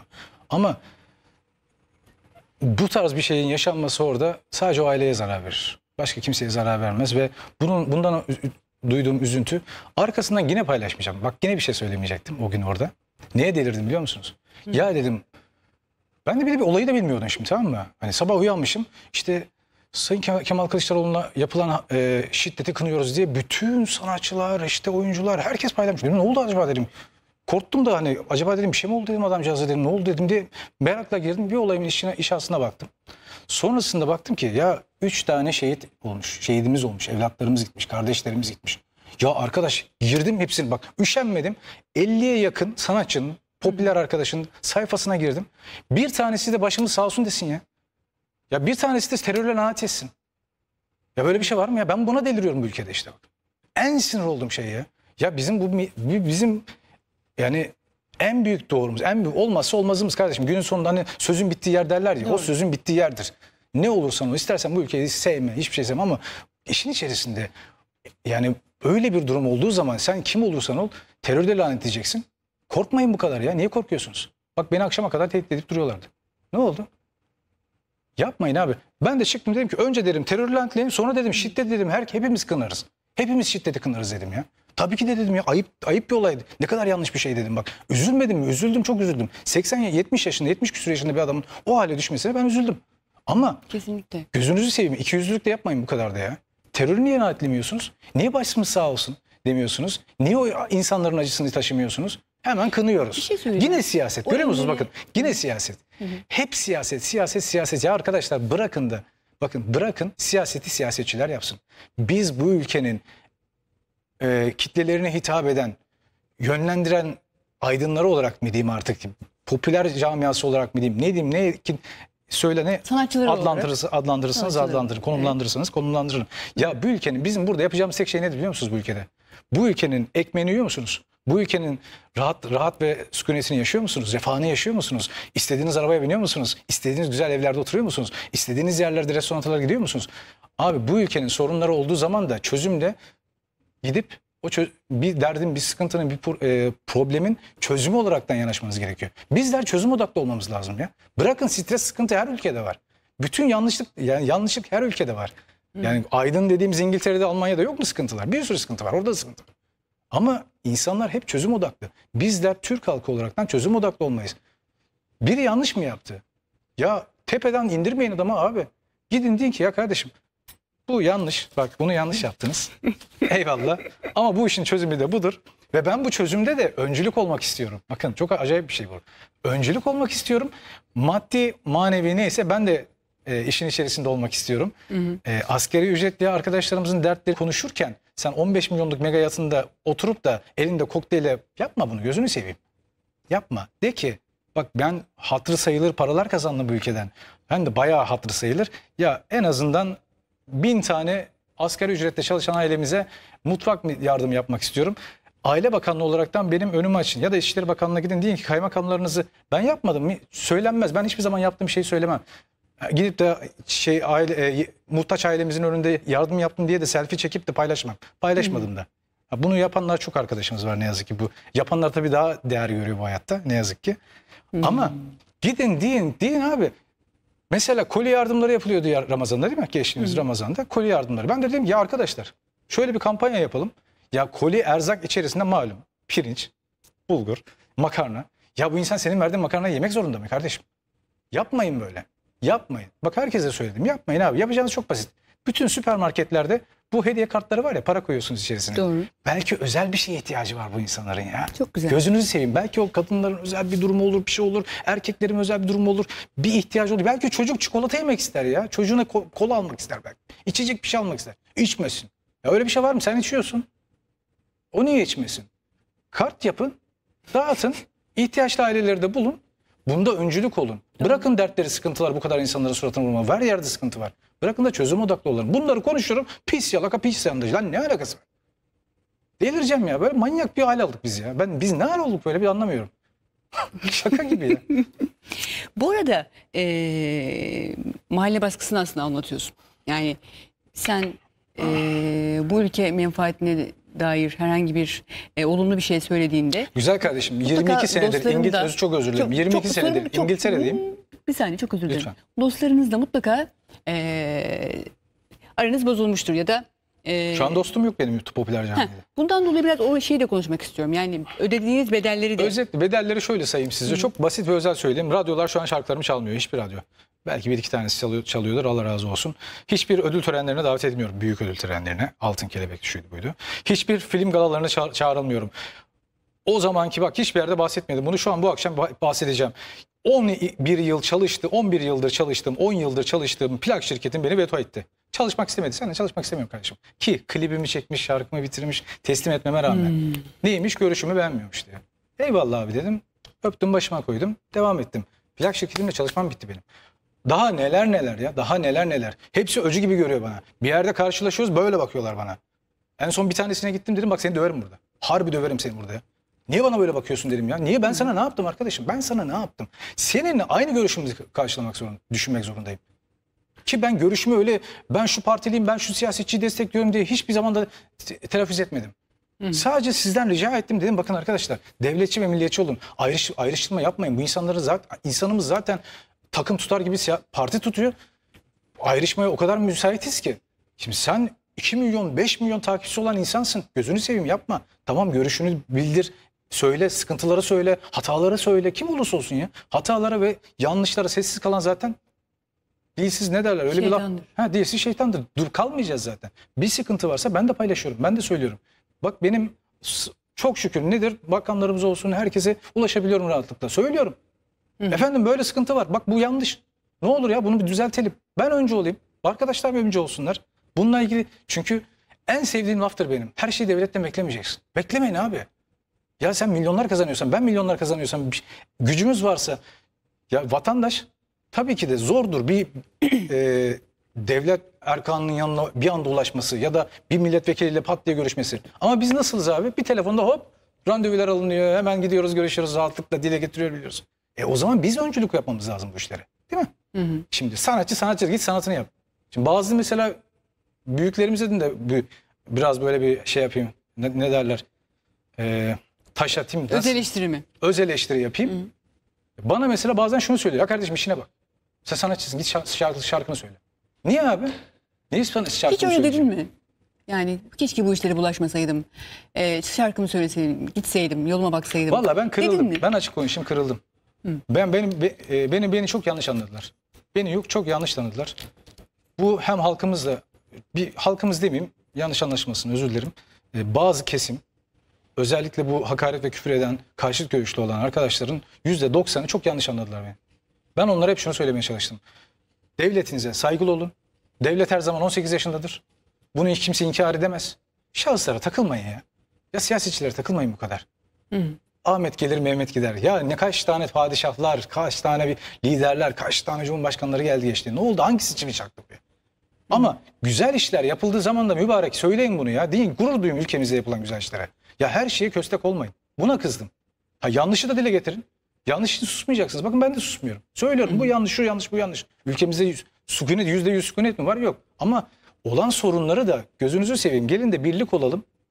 sağ görüşlüsü, sol görüşlüsü, işte komünisti, düşünce şeyisi, devrimcisi, herkesi ya. Her şey, her görüşten. Ateisti, deisti, işte ilme ağır basan, inanan kişi, inançlısı, Hristiyanı, Müslümanı. Birlik olalım abi. Biz ayrıştırırsak, biz bu tepkilerimizi bu kadar sert verirsek ne olur? E, vatandaş akşama kadar sosyal medyada al işte burada. Yerim şunu kullanmayan var mı artık? Gözünü seveyim. Instagram hesabı olmayan var mı artık? Ben. TikTok hesabı Ben. saçma sapan TikTok diye bir şey var. Instagram yok benim. Yani artık akşama kadar burada. Yani bir de öyle bir şey ki buradan öyle bir algı yapılıyor ki. Şimdi birazdan oraya geçelim mesela. Sosyal medya. Kanayan yara. Allah Allah. Evet. Aslında ilk zamanlarda ne kadar güzeldi değil mi? Yaptığımız sanatımızı paylaşıyorduk. İlk şarkımız, yeni şarkımız çıkacağı zaman, klibimiz çıkacağı zaman şarkımızı paylaşıp orada işte olmuş mu olmamış mı te- tepkileri alıyorduk mesela. Ya da bir muhtaç, bir yoksul bir ailemiz bize ulaşıyordu. Ve biz onu gidip araştırıp bunu suistimal eden çok aileler var. Ben yok değil piyasa. Çünkü sosyal medya artık saçmalamış durumda.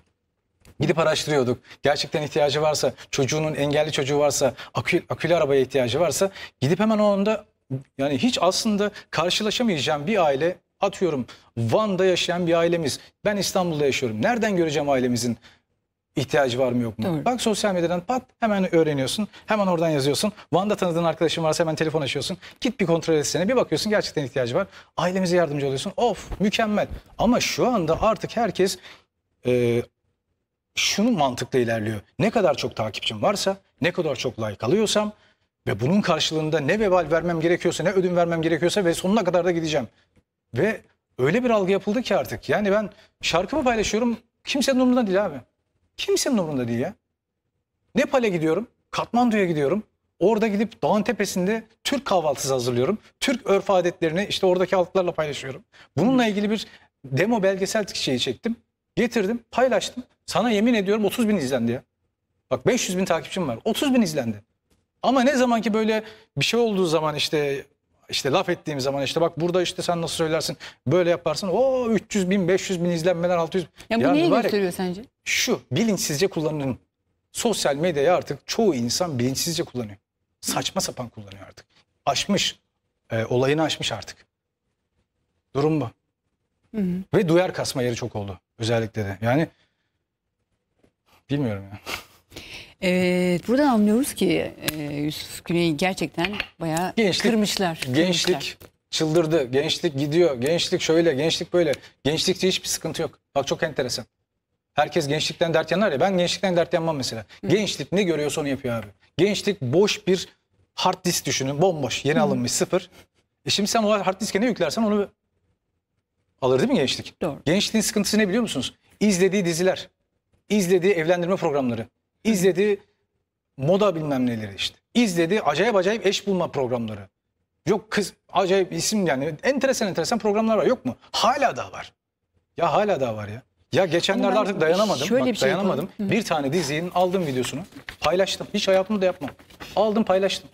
Sahneye bakın ya. Sahneye bakın. Bir de bu da hani gayet de ailevi bir kanalda oldu bu olay. Bak algıya bakın. Sahne, sahne düşünün şöyle. Kadını bak akşama kadar kadınlara olan şiddetten bahsediyoruz değil mi?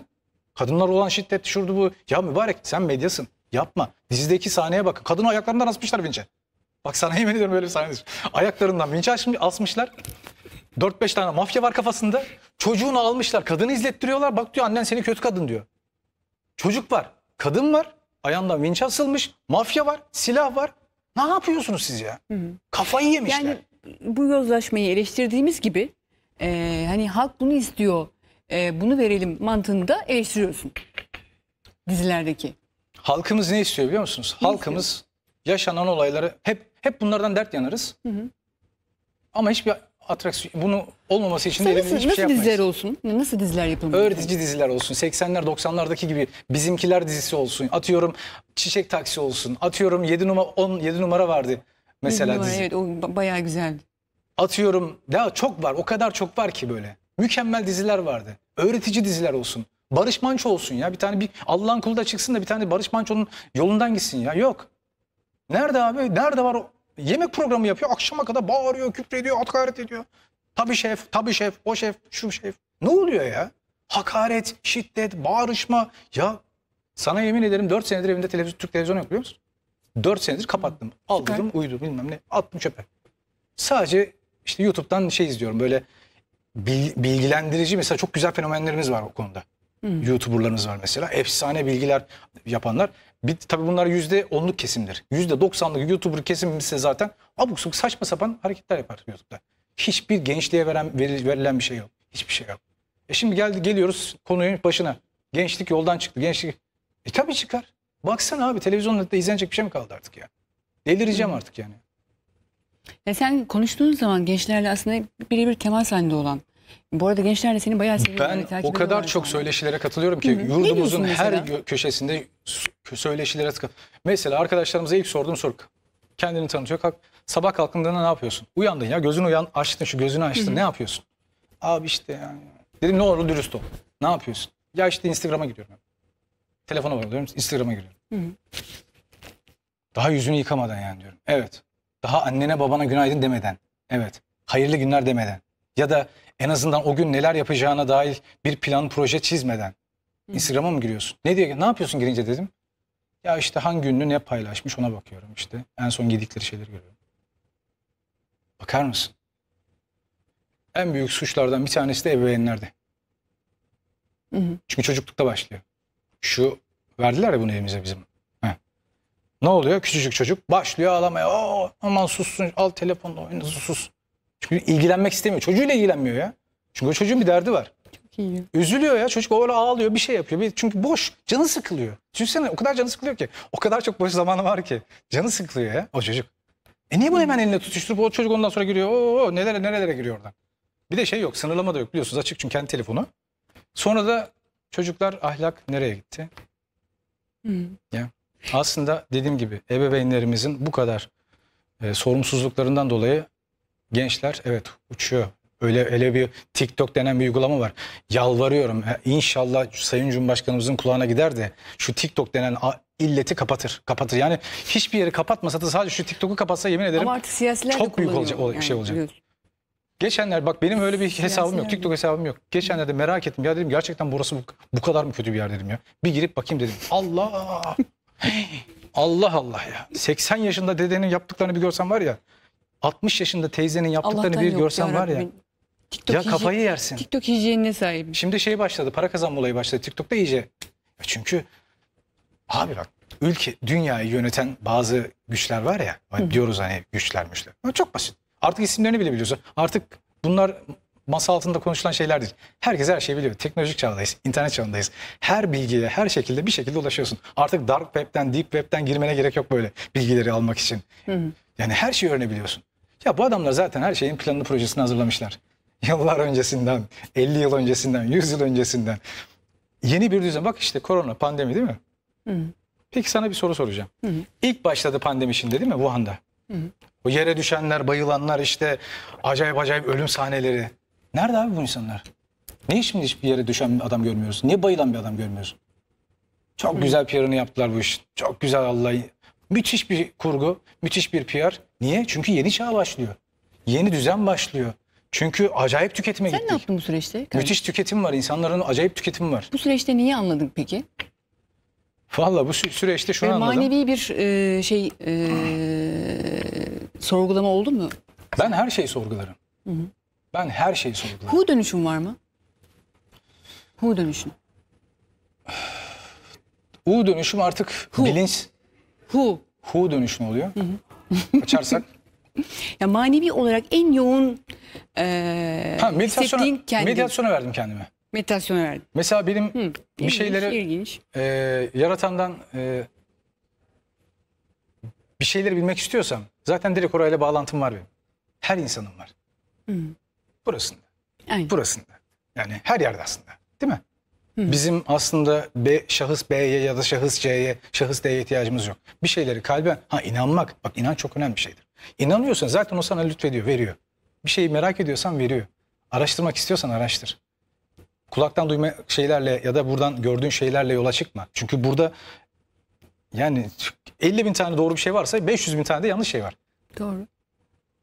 Bir insanın kendi bilgiyle bildiği, bildiği bilgi, bilgiyle yola çıkıp bu iş tembellik, bu tembelliktir. Haksız mıyım? Tembelliktir. Araştır abi. Bir maneviyata gir. Ama maneviyat demek şu değildir ki. İşte beş vakitte beş vakit kat. İşte bak Allah. Bir de mesela dinlerle alakalı girersek ufak bir şey söyleyeceğim. Ve rica ediyorum. Ebeveynlerimizden, ailelerimizden rica ediyorum. Bizim dinimiz hoşgörü ve tevazu dinidir. Korkutmayın çocukları. Korkutmayın. Allah seni yakacak, cehenneme gideceksin. Zabaniler var, şöyle var, böyle var. Bak onu yaparsan şöyle ateşlenecek. Ya yapma. Ya Allah beni seviyor, niye yaksın beni? Ben iyi insan olsam yapmaz. Korkumdan dolayı yapmam. Onu yaparsan babana söyleyeceğim, baban da seni dövecek. Yapma abi, niye dövsün babam beni? De ki, baban seni çok seviyor, ne olur. Bak babanı üzmek ister misin? Ya da bak sen bir kulsun, sen bir dünyaya e, ruhundaki Doğru. ruhundaki o gücü, bilgiyi, e, kulluğu öğrenmeye geldin. O yüzden de güzel insan olursan bak mük- mükafatları var. Şimdi ölüm ve sonrası diye şey bir başlık atmıştım sana. Orada şunu söylemek istiyorum. Aslında şunu değinmek istiyorum. Şimdi cennet cehennem kavramı. Yani tabii ki de dinimizce hani Kur'an-ı Kerim'de az, az çok yazılmıştır. Bilin, bilinir herkese hemen hemen herkes de bilir ne olacağını. Ama şunu söylemeye çalışıyorum mesela. Ya Kur'an-ı Kerim başlı başına bir şifredir. Şifreli bir kitaptır. Yani sen öyle Türkçe mealini okuyaraktan bir şey çözemezsin. Öyle bir dünya yok. Bir kere onu e, algılaman için inanman bir şeylere inanman lazım. Kendince istemen lazım. Biz önce istemeden hemen şeyi sonucu sonuç odaklıyız. E, bir şey. Bir de mesela en sinir olduğum şeyi söyleyeceğim. Bakın. Çok çok samimiyetimle söyleyeceğim. Buyurun. Çok çıkarcıyız. Nedir biliyor musunuz çıkar? Mesela hepimiz yapıyoruz. Allah'ım şu işim yolunda giderse namaza başlayacağım. Allah'ım işte şu e, para alacağım var. Alacağım alırız işte ya da çocuğum işte şu işe bulursa e, adak adayacağım. Kurban keseyim. Ya mübarek niye hep çıkar menfaat peşindesin ya? Olmadan yap. Değil mi? Olmadan git yap. Zaten yaratan onu verecek sana. O güzel enerji, o içindeki e, çıkarsız, menfaatsiz İlk bunu olan ne zaman enerjileri söyledin? İlk bunu ne zaman yaşadın? pandemiden sonra daha da ağır basmaya başladı biliyor musun? Bu süreci biraz Bir şeyleri dank etti artık kafamda. Yani belli bir sistem var abi. Geçmiş olsun. O sistemin dışına çıktığın anda hemen uzaklaşıl, uz- kendini gözlemleyebildin uzaklaştıktan sonra. Ve o sisteme bir şekilde uyacaksın. Devletler de uyuyor, ülkeler de uyuyor bir şekilde. Çünkü o büyük sistem, büyük çarkın içerisinde zaten şunu istiyorlar. Pandeminin, koronanın ben size açılımını yapayım mı? Korona nedir biliyor musunuz? Zayıflar ölsün, güçlüler kalsın. Ve yeni dünya düzeninde dijitalleşmeye gidelim, level atlayalım. Yani 2020 yılının teknolojisini 2050'den devam etmeye başlayalım. Çünkü hep öyle olmuştu farkındaysanız. 1970'ler 80'lere bakın. Milenyumda ne oldu? Bir anda bir uzay çağına geçtik. Cep telefonları, görüntülü aramalar bilmem neler. Şu anda da onun peşindeler. Dijitalleşmeye gidiyoruz. Ve bunu insanları kontrol altına almak istiyorlar. Çipleşti. o- Ya bir korku mu satılıyor? Onu mu söylüyorsun? ya korkuyla Korku satılıyor. korkuyla yapmak istedikleri ama emellere ulaşmaya çalışıyorlar. Çünkü bir insan bak dinimizde de mesela bak az önce örnek verdim sana. Ya bir dinimizi anlatırken bile korkuyla başlıyoruz önce. 7 yaşındaki çocuğa hemen ne diyoruz mesela? Çabuk ca- camiye git. Çabuk Kur'an-ı Kerim öğren. Yoksa bak Allah yakar seni. Ya yok öyle bir şey. Sevdir. Şu anda insanlar bayağı Camiyi de sevdir. Namaz kılmayı da sevdir. Aynen. Aşk, sevgi, tevazu. Yok abi bitti bunların hepsi. Ben ben de gittim. Ben de bir iki sene hatta bir buçuk sene İngiltere'de yatılı kaldım e, Kur'an kursunda. İngiltere'de. Tabii tabii İngiltere'de Süleyman, Süleymaniye Camisi vardı. Bir sene. Akşama kadar dayak yiyorduk. Niye dayak yiyorduk biliyor musunuz? Ya çocuğum ben. Çocuk 13 yaşındayım ben. Çocuğum ne yapıyorduk biliyor musunuz? Çoraplardan top yapıyorduk. Top oynuyorduk şeyde o büyük alanda, salonda. Ya sen niye dövüyorsun bizi abi? Çocuğum lan ben zaten. Ben çocuğum abi. Ben tabii ki top oynayacağım orada. Ne yapacağım? Çünkü boş zamanım var. Namazımı kılmışım. Dersimi de geçmişim. Kur'an'ı da okumuşum. Sureleri de ezberlemişim. E bırak da oyun oynayayım biraz ya. Basıyorlar dayağı ondan sonra. Olmaz ki böyle. Böyle din mi öğretir çocuklara? Yapmayın. Sevdirin ya. Sevsin. Ya seven adam tevazuyu, sevgiyi, ahlakı. Değil mi? Öğretin abi. Hazreti Ömer'in adaletini öğretin. Hazreti Hamza'nın Cesaret. yan, cesaretini, yanlışa karşı dik duruşunu öğretin. Değil mi? Doğru. Hazreti Peygamber'in ahlakını öğretin. Haksız mıyım? O güzel ahlakı öğretin. Sevdirin. Onları böyle e, hayali olaraktan yaşatmayın insanlara. Bilinçli ve güzel bir şekilde güzel taraflarını öğretin ki sevgiyle insanlar da çocuklar da bunu yapsın öğrensin. Bırakın kızmayın abi çocuğa. Yanlış yapacak. Yanlışlar zaten güzelliklerin değerlerini bilmemiz için yanlış yapmamız lazım ki değerini bilelim. E zaten yanlışın olmadığı bir yerde zaten güzelin de bir anlamı yok. Doğrunun da bir anlamı yok anlıyor musunuz? Yanlış olacak. Hata yapacaksınız. Ama ne yazık ki ebeveynlerimiz yıllardır yıllardır zorlama zorlama zorlama İyi insan zorlama. kimdir? İyi insan sadece kendisine değil etrafında ve gücü yettiğince etrafındakilere de bir şeyler öğretebilen, bir şeylere vesile olabilen ve kalplere dokunan bir varlıktır. İyi insan. İlk beş. Bana iyi insan, benim gözümde iyi insan odur. En kırıldığın zaman. En kırıldığım zaman, Zaman. Bu yaşam yani anlatmak hikayende. istediklerimi anlatam yanlış anlaşıldığım zamandır. En son ne zaman yanlış anlaşıldın? İşte bu olaylarda. Bu arada özetleme geçiyoruz. Evet. Bu arada. bu olaylarda. En eee, mutlu olduğun an. En mutlu olduğum an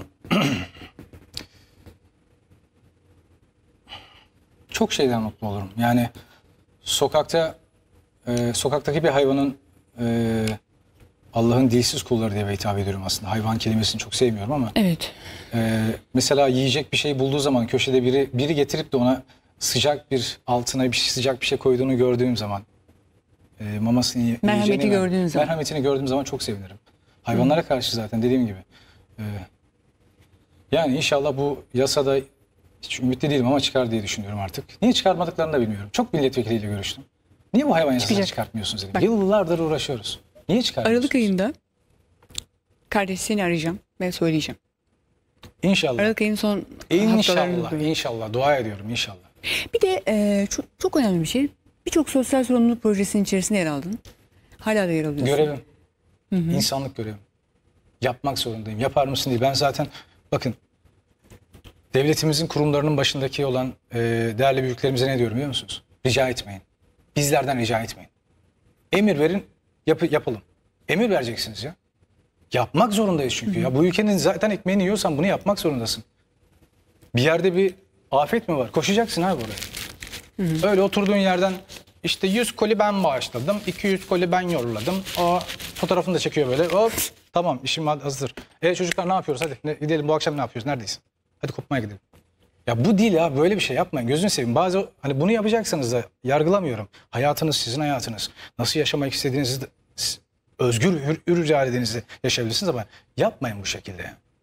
Gidin insan devletimiz küçük bir devlet değil. Büyük bir devlet. Ne kadar e, sıkıntılı bir şekilde e, bir sürü problemlerle baş etmesi gerekse de Evet.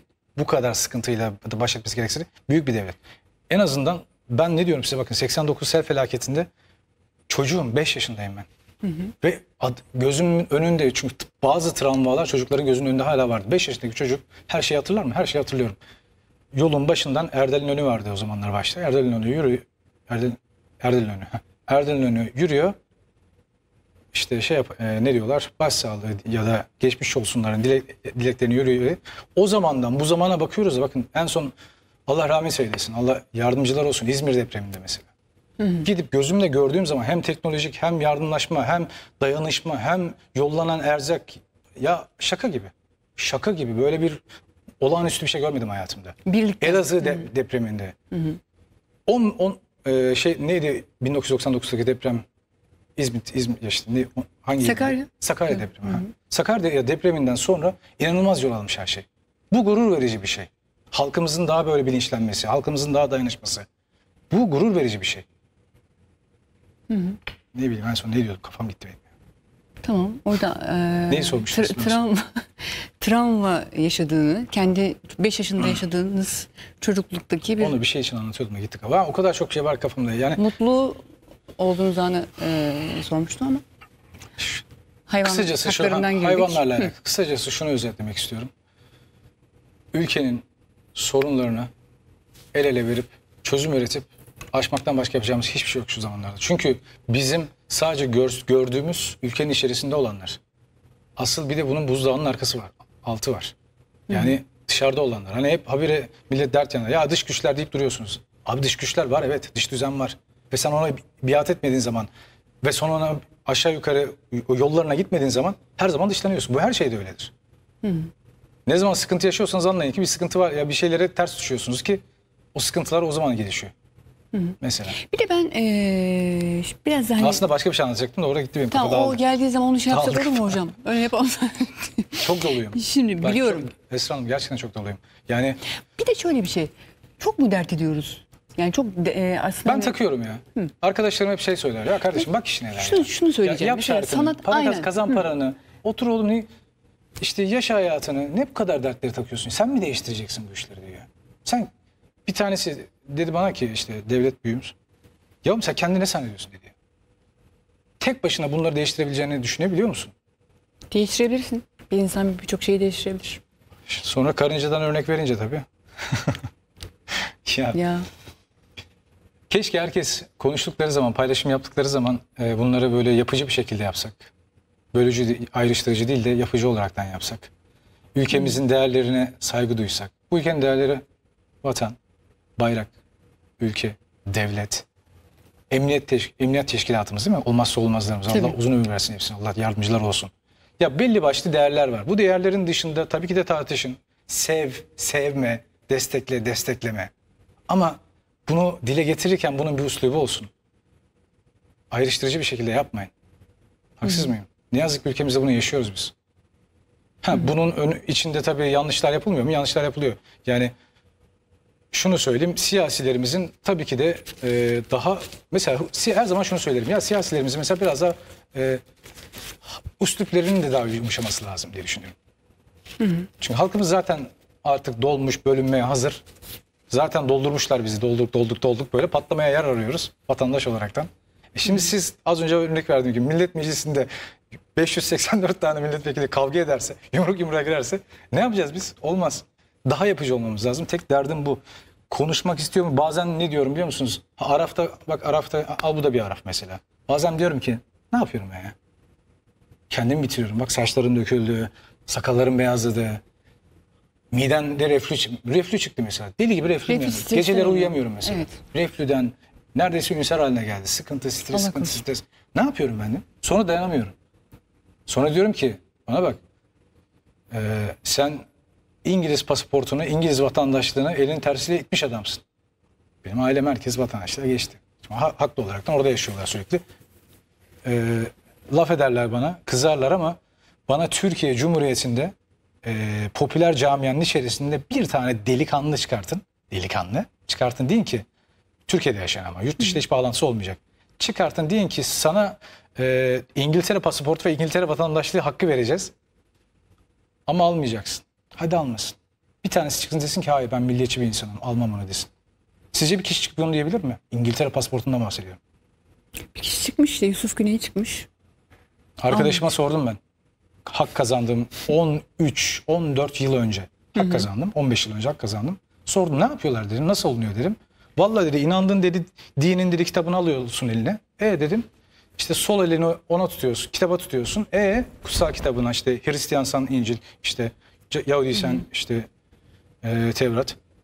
İşte Müslümansan da Kur'an-ı Kerim'i veriyorlar. Sağ elinde kraliçenin posterinin önünde geçiyorsun sağ elini kaldırıp anayasal hukuklarına, anayasal maddelerine, hukukuna, kra- kraliçenin hak ve işte görüşüne bilmem ne kısacası her şeyine yemin ediyorsun. Kraliçeye yemin ediyorsun ve İngiliz vatandaşlığına geçiriyorlar seni. Bırak dedim kardeşim ben dedim ne kraliçeye yemin edeceğim ben İngiliz miyim dedim. Almıyorum dedim. Ve o gündür bugündür hala da almadım ve almayacağım da vatandaşlığı. Ve ben şu an 23 yıl oldu İngiltere. Son 12 yıldır tamamen ülkeme, ülkeme geri dönüş yaptım. İngiltere 12 yıldır öncesinde çalıştığım için tabii ki de vergimi İngiltere'de ödüyordum. Türkiye'ye geldikten sonra ben İngiltere'ye bir kuruş vergi ödemedim mesela. Bütün vergimi Türkiye'ye ödedim. İstesem İngiliz vatandaşına geçerdim. Vergiden de muaf olurdum. Vergiyi de Türkiye'ye ödemezdim. Her türlü yoluma bakardım. Bu arkadaşlara bunları anlatmaya çalışıyorum. Yani benim milliyetçiliğimi ve devletçiliğimi ve vatanseverliğimi sorgularlarken en azından bunları da bilin de Sorguluyorlar mı şu an? Tabii canım onu da- ona bir laf ediyorlar. Benim askerliğimi bedelli yaptım diye laf ettiler mesela. Açıklamasını yapıyorum dinlemiyorlar. Diyorum ki kardeşim ben 23 yaşındaydım bedelli yaptığımda. Bakın 23 yaşındaydım ve ben e, ilk albüm yeni çıkmış ve ben sonuçta e, bir şirkete bağlı bir adamım. Kontrat imzalamışım 5 yıllığına. Ve o kontrat sözleşmesinde bazı maddeler ve kanunlar var. Ben çıktım dedim. Ben dedim askere gideceğim. Uzun dönem askere gideceğim. İzin vermediler. Benim uzun dönem Bir askerlik şey yapmama var. izin vermediler. Bir de şöyle bir şey var. Karşılığında da şunu söylediler. Gitmek istiyorsan git.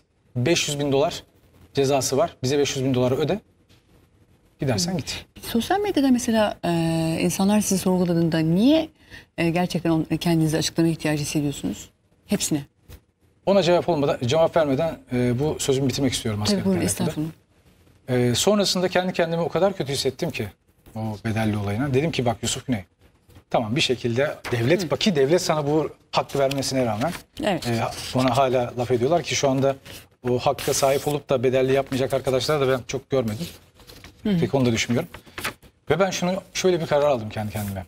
Madem ki böyle bir duruma girdin ve kendini kötü hissediyorsun, ölene kadar emniyet teşkilatı ne zaman emrederse oraya intikal edeceksin ve hiç bölge seçmeden en zorlu şartlarda bile gideceksin. O kardeşlerimize şu kadarcık bile moral motivasyon için dağın tepesine de çıkacaksın. En tehlikeli bölgelere de gideceksin. Ve benim ş- mesela herkesin şafağı biter bir. Şafak kaç derler yani. Söyler 200, 250, 3, 5. Benim şafağım yok karanlık. Bittik. Bitmeye, bitmeyecek benim şafağım. Her ölene kadar ben o askeri gö- görevimi yerine getireceğim bir şekilde. Sonrasında sorduğunuz soruya gelince. Sürekli böyle hani sorulara, sosyal medyadan olan e, sorulara cevap verme ihtiyacı hissetmek gerçekten çok yorucu. Ağrıma Bu gidiyor. anlamda- Ağrıma Hı. gidiyor. Yani ben çünkü düşündüğü gibi adam değilim ki. Bana hakaret ediyor. Değil abi. Ben böyle bir adam değilim. Ben bir şeyleri değiştirmeye çalışıyorsam bunu yapıcı olarak değiştirmeye çalışıyorum. Çok açık ve net söyleyeyim. Hani dedim ya programımızın başında işte yalaka, yandaş kelimeleri kullanılıyor işte. İşte hükümet yandaşı bilmem ne. Evet yandaşlık ve yalakalık yapan çok arkadaşımız var. Ceplerini dolduran çok arkadaşımız var. Ne yazık ki e, devletin kanallarında iş yapmak için Cumhurbaşkanlığından telefon bile açtırtan çok arkadaşımız var. Konser almak için 50 bin tane takla atıp da kendilerini yana, yanaştırıp da e, paraları cebe indirmek için isteyen ve yapan çok arkadaşımız oldu. Sanatçılardan bahsediyoruz. Sanatçılardan bahsediyorum evet. Çok arkadaşımız oldu ve haklı olarak da bazen hak veriyorum arkadaşlara. Haklılar. Çünkü var evet öyleler öyle yapıyorlar. Hepsini Benim evim de. kiradır. Bakın çok açık ve net söylüyorum. Evim kira, arabam kredili. Mütesir miyim? Değilim. Çünkü zaten emanetçiyiz bu dünyada. Her şey emanet zaten. Ben hiç son sahibi olan bir şey, bir şeyin son sahibini hiç tanımadım biliyor musunuz? Şunun son sahibini de tanımadım. Bindiğim arabanın son sahibini de tanımadım. Son sahibi diye bir şey yok. Otelleriniz olsun, arabalarınız olsun, malınız, mülkünüz, milyarlarınız olsun. Ne oluyor? Beyaz bir kefenin içerisine sarılıp sonucunu bile bilmediğiniz bir yola çıkıyorsunuz. Öyle bir yola çıkıyorsunuz ki muazzam bir döngünün içerisine giriyorsunuz. Ne aile kavramınız kalıyor. Bak kendiniz öldükten sonra aslında ölüm sonrasından bahsediyorum şu anda. Ne aile kavramınız kalıyor. Ne malınız, mülkünüz kalıyor. Ne arkadaşlarınız kalıyor. Ne eşiniz kalıyor. Ne çocuklarınız kalıyor. Düşüyorsunuz kendi derdinize. Doğru. İyi insansınız. İyi insanlar tabii görecelidir açık açıklayıcı. Bu illa hani beş vakit namaz kılan cennete gidecek diye bir şey yok. Kılmay, kılmıyor diye de cehenneme gidecek diye bir şey, diye de bir şey yok mesela. Bunu kesinlikle insanlara bir net bir şekilde söyleyelim halkımıza. Çünkü ben ne beş vakit namazı, namazı kılan adamlar tanıdım. Akşama kadar haram yiyen, kul hakkı yiyen. Ama ne beş vakit namaz kılmayıp da yani her şeye koşturan, her yani bir tane kalp kırmamış, haram yememiş, kul hakkı yememiş ne adamlar da tanıyorum. Şimdi biz bunu yargılayabilir miyiz? Mümkün değil. Haddimize mi yok? Haşa. Yaratıcı bilecek. Gittiğimizde zaten o hani adil terazi dediğimiz noktada zaten her şey verilecek. Yani Bir tane soru gelmiş onu e, soracaktım size ama mi- bu aslında e, program başından beri konuştuğumuz bir şey. Milli durmanın bedelini nasıl ödüyor ve nasıl baş ediyor? E, Müteşir değil. Zaten Bedel bunları- ödenmesi, bunları, bedel ödenmesi e, gerekiyorsa ben konuştuk. Evet. bedel ödenmesi gerekiyorsa ben ülkem için, vatanım için bedel öderim ya. Ne olacak? Günün sonunda evet çok çokça ağır şeyler de yaşadım. Hiç de müteşir olmadım. Sonucunda yurt dışından çok tehditler aldım. Bu Milli- konularla alakalı. Konularla alakalı milliyetçiliğimden dolayı çok tehditler aldım. Sıkıntı yok. Verecek bir canımız var. Bizim o kadar şehit olan kardeşlerimizden hiçbir üstünlüğümüz yok. Bu vatan için canını veren gençler, gençlerden, kardeşlerimizden hiçbirinden üstünlüğümüz yok. Gerekirse biz de veririz. Hiç önemli değil. Ama büyük bir bedel ödüyorum evet. Olsun bu da bizim imtihanımız diyelim. Günün sonunda ama çok bunaldığım zamanlar oluyor evet. Çok daraldığım böyle, çok üzüldüğüm. İşte laf laf açıyor ya. İşte hatırlıyorum şey, sevindiğiniz anlardan bahsetmiştiniz. Beni en çok sevindiren şeylerden bir tanesi nedir biliyor musunuz? Yolda bir polis kardeşimizle ya da bir jandarma, bir asker kardeşimizle karşılaştığımızdaki o bana bakarken o gözlerinin içindeki sevgi ve inanılmaz bir şefkati gördüğüm zaman o mutluluğu, o huzuru gördüğüm zaman, o takdiri gördüğüm zaman o beni çok mutlu ediyor. Teşekkür ederiz abi diyor. Milli duruş bizi savunduğun için, milli duruşundan dolayı. Düşünsenize ne kadar kötü olmuş ya. Devletin emniyet teşkilatını, bu, vat- bu vatanın olmazsa olmaz emniyet teşkilatını savunmak bile çok büyük bir lütuf oldu artık yani. Ki normal sıradan bir şey bu bana göre. Herkesin olması gerekiyor. Yapmamız gereken şey aslında. Bana hep teşekkür ediyorlar işte abi Elazığ'a gidiyorsun, oraya gidiyorsun, Hatay'a gidiyorsun, şuraya gidiyorsun, buraya. Ya teşekkür etmeyin bana. Bunu zaten yapmak zorundayım ben. Bu benim insanlık görevim. Eğer ki bana Allah lütfetti ve bu kadar popülerizmi ve bu kadar e, gücü verdiyse bunu zaten yapmak zorundayım. Bu yollarda kullanalım. Kullanacaksan da bu yollarda kullan. Mübarek. Şöhretini kaybetme korkusu yaşıyor musun? Hiç korkum yok öyle şeylerde. Sadece sevenlerimi kaybetmek korkutur beni. Şöhretimi değil. Şöhret O yüzden ne kaybettirdi? dikkat ederim her Ne şeye. kaybettirdi? Efendim? Şöhret ne kaybettirdi? Gerçek dostlukları kaybettirdi. Gaddar da yaptı siz biraz ister istemez. Çünkü bazen güzel insanlarla tanışıyorsunuz ve arafta kalıyorsunuz evet. Araf hep araflara geliyor işte. Ee, acaba beni gerçekten mi seviyor? Gerçekten mi değer veriyor? Acaba ben beni olduğum için mi değer veriyor? Yoksa benim bu aralar popülerizme, popüler, popülaritemden dolayı mı bana yakınlık gösteriyor? O yönden de çok dertli, dertli olduğum zamanlar oldu. Özellikle ben mesela ben Allah'a şükür kendimce, kendi emeklerimle, kendi kazancımla hayır işlerim, yardımlar ederim, bir şeyler ederim. Bunların, bunun da yüzde birini paylaşırım. Yüzde 99'u Allah da benim aramda olur. Bir elin verdiğini diğer el görmeyecek gibi. Ama yüzde biri de bazen yüzde ikisini de paylaşırım ki. Çünkü bu teşvik etmektir. Çok dedim ya teknoloji çağındayız artık. Ya be- ben beni takip edenlerim, beni sevenlerim eğer ki ben bir yolda sokaktaki aç hayvana yemek veriyorsam bunu paylaşacaksın tabii. Ya da bir afette bir şeyler yapmaya çalışıyorsan, cebelleşiyorsan ve buraya eksikler neyse o eksikleri tamamlanması için de öncülük yapıyorsan bu da paylaşılır. Ama bir ailemize bir yardım yaptıktan sonra ailemizi tutup da selfie çekip bak ben bu ailenin yanına geldim muhtaçtı. işte fakirdi ben doyurdum. Benim sayemde bak evine ekmek girdi diye alıp da paylaşırsan Bu bu çok, çok ayıp bir şey. Çok kötü bir şey. Allah düşünmesin böyle şeyleri. O yüzden benim tek korkum odur. Sevenlerimin beni bir gün yani sevenlerime yanlış yapabilmek ya da beni seven insanlara mahcup etmek en büyük korkum odur. Genelde her e, konuğuma sorduğum sorulardan bir tanesi. Aslında bu e, daha fazla sorularım vardı ama vakitim maalesef çok az bir zamanımız kaldı. Bitirdik bir iki saat. Maşallah. Süper. Size maşallah yani. Ee, ilk Ne yapayım başka yerde konuşturmuyorlar beni artık programlara da Aa, çağırmıyorlar. öyle bir şey mi var? Hiçbir yere çağırmıyorlar. çağırmıyorlar mı? Tabii canım. Keşke birilerine böyle laf at, işte magazinsel olaraktan bir laf atsam da oradan işte merak etselerdi işte efendim şu şahısla işte e, laf atmışsınız. O da sizin arkanızdan bunu söylemiş deseler magazinsel olsam evet çok çağırıyorlar öyle şeyleri.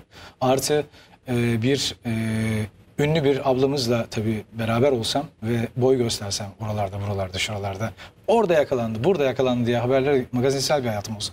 Yine daha e, sevdikleri nokta bu. Yine çağırırlar ama dediğim gibi ee, teşekkür ediyorum. Yani gerçekten e, konuş uzun zamandır konuşmak istediğim şeyleri sayenizde biraz böyle elimden geldiğince Bu bence biraz iyiydi gibi geldi bana. Yüzde beşi. evet yüzde beşi. Bir iki, bir iki, üç araf galiba. Müselsel bir Sıkıntı yok araf serilerini gerekiyor. çekebiliriz. Eyvallah. İki, üç, dört, Şunu beş. soracağım. Ee, ilk maaşından ne yaptın kardeş? İlk maaşımla borçlarımı kapattım. Çok borcum vardı. Ama bayağı bir çocukken. Meşhur olacağım diye 3 sene bekledim ben. Bakma Rafet abi 3 sene bekletti beni. Ha, iyi de olmuş bekleteli çünkü aşk albüm mirane çıktı yapmak için para, ilk parayı siz mi? Sanatçılar mı Yok veriyor? şöyle ben Hmm. borçları nasıl yaptım biliyor musunuz? Normalde ş- e, sağ olsun yapım şirketimiz karşıladı ilk albüm şeyleri masrafları ama e, şimdi aradaki bağların kopmaması için o 3 sene zarfında ben çalışamadım. Konserlere gidiyordum. E, tabii cep, cep harçlığı da almadığımız için bütün her şeyi ben karşılıyordum. Karşılayınca da e, bankaların hepsini tabii borç yığılmıştı. Eve hacizler gelmişti. Babam deliriyordu. Evden kovacağım diye. İlk paramla borçlarımı kapattım. ikinci paramla e, bizimkilere araba aldım. Üçüncü paramla aileme yine bir şeyler yaptım. Dördüncü paramla yine aileme bir şeyler yaptım. Maşallah. Beşinci kazandığım parayla da Oo. kendime harcadım. Çok zengin oldunuz mu? Yok çok zengin olamadım çünkü çok dağıtıyorum. Süper. Çok Yok ben e, şeyi merak ettim. Hani çok küçük yaşta e, çalışmaya başladım dediniz ya. e, galiba İngiltere'de miydi? Ben çok para sahibi olmayı şöyle bakarım. Çok sıkıntılıdır aslında bakıldığında ama kötü bir şey değil. Niye? Çünkü güzel kullanıyorsanız, iyi yönde kullanıyorsanız çok güzel bir şeydir çok para sahibi olmak. Tabii Allah e, güzel yollarla kazanmayı nasip eylesin. Amin. amin. Ama ne yazık ki çok zengin olan bazı arkadaşlarım var. Sistemkar biraz konuşacağım ama geçenlerde olan olayı ben özet- özetleyeyim. Hayatımda ilk defa demeyeyim de 2-3 üçüncü diyeyim mesela. Çok zordur böyle yakın dostlarıma sadece söylerim. Bir yerde muhtaç bir yapılacak bir şeyler varsa, yardımlaşma varsa rica ederim arada. Çünkü gecede 5 bin 10 bin harcayan arkadaşlardır. İstediğim paralar da 5-10 bin liradır zaten. 1000 lira ondan, 2000 lira ondan, 3000 lira ondan öyle toplarım. Giderim o aileye ulaştırırım. Ki bunlar hani nazım geçen yakın arkadaşlarım. En son Hatay'da ihtiyaç olan birkaç ailemiz vardı. Onlara söz vermiştim. Bir baktım harbiden artık bitirmişim yani. Sıfır tüketmişim. yani yardım edeceğim söz de verdim. Ama çıkamıyorum da işin içerisinden. Nacizane 5-6 arkadaşımıza rica ettim. Bir tanesi yardımcı oldu. O da çok komik bir Mevla yardımcı olsun. Sonrasında tabii açıklamasını yaptı. Gerçekten de durumu bu ara, bu ara iyi değilmişti ama. Ama gerçekten o milyonluk arkadaşlarımız yardımcı olmadı. Allah bana böyle bir zenginlik nasip etmesin. Allah cömertlikle bana zenginlik nasip etsin ki şu an yapmak istediğim... Aa, oo, kafamda neler var biliyor musunuz? Neler var? Bir, ah, İki tanesini söyleyebilirsin. bir, Ee, evet az dört dakikamız var. İki tanesini Çok param olur, olduğu zaman inşallah Allah nasip ederse bütün Türkiye Cumhuriyeti'ndeki sokak hayvanlarını bedava e, bakımlarını karşılayacağım. Bir rehabilitasyon merkezi kurmak. Devasa ama. Ak- aklın ucu kaldıramadığı bir yer. Kesinlikle para olmayacak. Herkes sokakta bulduğu yaralı hayvanı oraya getirecek. Bedava yapacak. Yani aslında belediyelerimizin yapması gereken şey. Du- duyarlı belediyelerimiz var. Hepsine laf etmeyelim tabii. Bununla ilgili çalışmalar yapan çok güzel belediyelerimiz var ama Bilelim, parmak, bilelim. bir- Evet. iki elin parmaklarını İki. geçmiyor. İki, ülkemdeki muhtaç aileler bittikten sonra, bittikten sonra yurt dışına aç olan ve muhtaç olan ülkelere ciddi yatırımlar yapmak. Önce benim insanım. Önce benim insanımı şöyle bir artık evet bitti tamam yani ülkemde artık muhtaç adam kalmadı dediğim zaman o zaman dışarı çıkmak istiyorum. Ayıplamıyorum, destekliyorum, hor görmüyorum. İnanılmaz güzel sahneler izliyoruz. İşte Sudan'da, Afrika'da, orada burada tabii ki de öyle ama yani benim insanımda da muhtaç olan çok insan var. Ben görüyorum ya geziyorum çünkü. Ben görüyorum, gözümle görüyorum. Ben kulaktan duyma konuşmam. Instagram üzerinden konuşmam, sosyal medya üzerinden konuşmam. Giderim bizzat gezerim. Ha tabii ki de e, bu çoğunluk mu aslında bakıldığında çok kolayca çözülebilecek rakamlar. Rakamda olan muhtaçlıklar var. Yani şöyle kelli felli 10 tane 15 tane milyarlar kazanan e, firmalar, şirketler şöyle bir seferber olsa bir aylık kazançlarını e, bu iş için harcasalar zaten ülkede bu ülkede ben aç insan kalacağını düşünmüyorum. Ama ne yazık ki ne kadar zenginleştikçe o kadar cömertlik azalıyor bu ülke. Süper. İki projeyi inşallah gerçekleştirdiğinizde ikinci Araf'a burada eee, yapalım. O zaman çok ileri bir tarih mi vermiş oldum. Neyse biz arada inşallah böyle tekrar Belli ikinci ya. Araf'ı O iş belli, o iş belli inşallah olmaz. yapacağız. Ben çok teşekkür ederim. Beni Ben çok kırmadınız. teşekkür ederim. Ne- rica Ee, ederim. sizi zor sorular sormama müsaade etmediniz. Sizden şikayetçiyim. Ama e, gerçekten bu ülkenin menfaatine Bana istediğin iyilik- soruyu sorabilirsin. Ben Estağfurullah şaka yaptım. Her şeyin Ee, ben bütün sorularımın cevabını aldım. Çok teşekkürler. Allah razı Allah olsun. cevabını ve açıklamasını yapamayacağımız durumlara sokmasın bizi. Süper. Aynen. Amin. Hepimizin e, temennisi ve duası. Çok teşekkür ederim. Ederim. Ee, İnşallah bir, bir şekilde bir şeylere açıklık getirebilmişizdir. Oldu. Bayağı Umut- da güzel umut yorumlar var. Şimdi göstereceğim. Çay Umut içerken. olmuşuzdur inşallah. Özellikle genç kardeşlerime şunu söylüyorum. Üretin, üretin, çalışın ve çalışın. Rahmetli Sakıp Sabancı ne dedi? Çalışmak, çalışmak, çalışmak. Çalışacaksınız. Bu ülkenin kalkınması için de zamanınızı sosyal medyalarda değil, yapıcı ve e, çözüm odaklı işlerle zamanınızı harcarsanız inanın çok daha güzel bir ülkede yaşayacağız. Çok teşekkür ederim. Ben çok teşekkür ederim. Ee, biz gidiyoruz. Ee, biliyorum ki siz var ama kameralar kameralar yokmuş gibi. Samimi bir sohbet gerçekleştirdik. Önümüzdeki hafta yaşarsak eğer bir şey olmazsa tekrar şuralarda olacağız. Kendinize iyi bakın. Hoşçakalın. Rabbime emanet olun efendim.